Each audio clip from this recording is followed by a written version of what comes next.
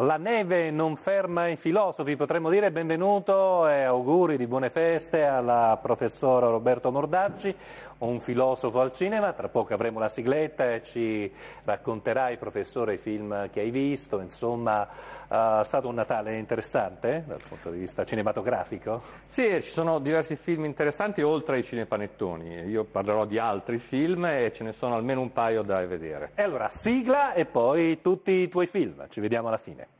Sigla.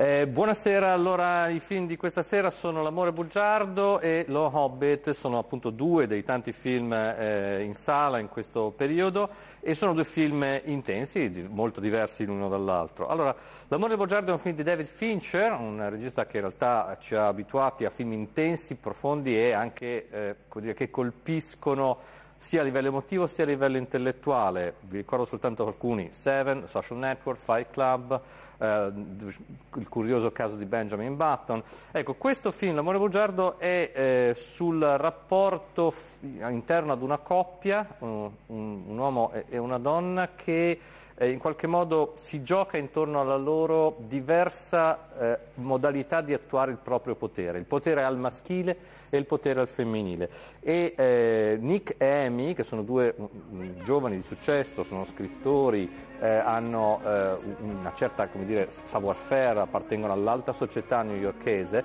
eh, si trasferiscono per ragioni familiari nel Missouri e qui si svuotano cui la loro relazione in qualche modo perde qualche, la loro capacità di stare eh, all'altezza della loro stessa intellettualità, ma al tempo stesso si lasciano trascinare in una routine che gli toglie, eh, gli toglie proprio l'elemento che li teneva insieme. D'altra parte, eh, d'altra parte, si avvia in questa relazione qualcosa che al di sotto della routine fa scattare il lato oscuro dei due personaggi. Allora, il lato oscuro del personaggio maschile è il lato di un, di un maschio che non ha molta eh, dire, volontà di potenza. E la chiave nicciana di lettura di questo film secondo me è importante, cioè un maschio che si adatta, si, si allinea alla morale di senso comune nel luogo in cui vive e anche poi anche alla, all'immoralità di senso comune in quel luogo, ha un amante, in qualche modo si lascia portare avanti e indietro, non trova lavoro, non si dà da fare per cercarlo e scatena nella moglie invece un tipo di reazione che è, ah, di nuovo, in termini nicciani, eh, un, una vera e scatenata volontà di potenza che eh, nel risentimento eh, trova, e nella, quindi nella vendetta, trova la sua chiave di volta. La moglie in realtà si svela piano piano essere una persona con una grandissima capacità di manipolazione, dei maschi in particolare, eh, sia nel passato sia nel presente, e abilissima nell'architettare eh, la, la, propria vita, la propria sparizione, in modo tale che ne ricada interamente la colpa sul marito e che in qualche modo, anche qualora lei non riuscisse nel suo piano, lei ne esca comunque vincitrice. E ha per questo, dalla sua, la capacità di usare tutte le armi a disposizione di una donna, in questo, che sono armi in qualche modo più raffinate di quelle a disposizione di un maschio, dove la cosa che si capisce è che eh, Amy eh, è capace di eh, tessere un, in modo molto lucido una tela intorno al marito, in modo da intrappolare lui e chiunque altro unitamente al sistema entro cui lei si muove. E in questa capacità eh, c'è eh, tutta l'astuzia di quella che appunto Nietzsche chiamerebbe una morale da schiavi, cioè entrambi sono asserviti alle regole del senso comune, asserviti a una sete di potere che ha bisogno eh, di asservire qualcuno per sentirsi importante e al tempo stesso sono però molto abili nel far funzionare l'intero sistema, lei in particolare è molto abile a far funzionare l'intero sistema a suo uso e consumo. E eh, Fincher è spietato nel mostrare questo lato oscuro al femminile. È spietato come lo sarebbe Nietzsche, che era notoriamente misogino, e che eh, in qualche modo riconosceva nell'arte eh, seduttiva della donna questa capacità come più raffinata che non nell'uomo. Bisogna dire che eh, in questo Fincher eh, non abbandona del tutto il suo personaggio, Amy, perché da un lato ci mostra che Amy è vittima in realtà del delirio di onnipotenza dei genitori che ne hanno fatto la, dire, il pretesto per una storia di successo che non è quella della figlia, ma quella di un personaggio da loro inventato, la mitica Annie. Eh, questo, questa è la vera loro figlia.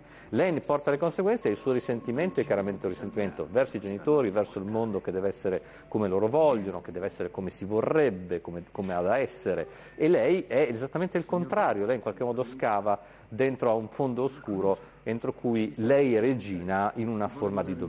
E questa però appunto è una forma di, dire, di solo reazione, eh? non c'è nessuna forma positiva, è fortemente distruttiva e incatenante. Il film è molto intenso, Fincher è molto capace di darci questo crescendo ed è eh, un film che eh, merita in qualche modo sia per lo scavo psicologico sia per la, il disegno del, dei rapporti fra i, fra i due sessi. Un film eh, diverso, di, proprio di tonalità diversa, è Lo Hobbit, La battaglia delle cinque armate. Qui eh, il regista è Peter Jackson, ormai è il terzo capitolo eh, del prequel della, del Signore degli Anelli, cioè appunto il libro dedicato allo Hobbit, e eh, questo è il capitolo che conclude la saga sullo Hobbit e già infatti introduce i temi e i personaggi che sono poi nel Signore degli Anelli. Su Tolkien si è scritto moltissimo, Tolkien è uno di quegli autori che ha fondato sostanzialmente il genere fantasy, è autore del Signore degli Anelli, dello Hobbit e di questa uh, ulteriore massa di appunti che è stata chiamata Silmarillion e che fornisce come una cornice. I temi sono quelli epici, eh, Tolkien si sa che voleva veramente scrivere una nuova mitologia, eh, creare la nuova mitologia del mondo contemporaneo in un tempo che precede la storia e che si nutre dei temi eh, tipici eh, di tutta la storia umana, che quindi sono temi profondi. Ecco, la lotta fra il bene e il male, che è il tema classico, il tema centrale, qui è naturalmente raffigurata dalla uh, guerra contro gli orchi, che sono il principio maligno nell'universo.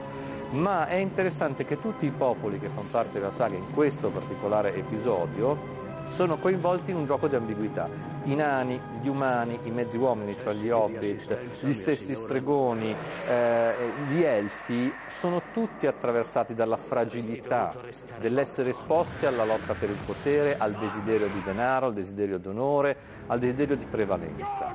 E eh, lato, gli orchi sono il lato cattivo in assoluto, eh? ma non è che dall'altra parte ci stia il bene, pulito, limpido e, e unitario. C'è qualcuno, tutti questi popoli, che in modi diversi, in momenti diversi, sono esposti alla caduta nel, nel lato più negativo. Eh?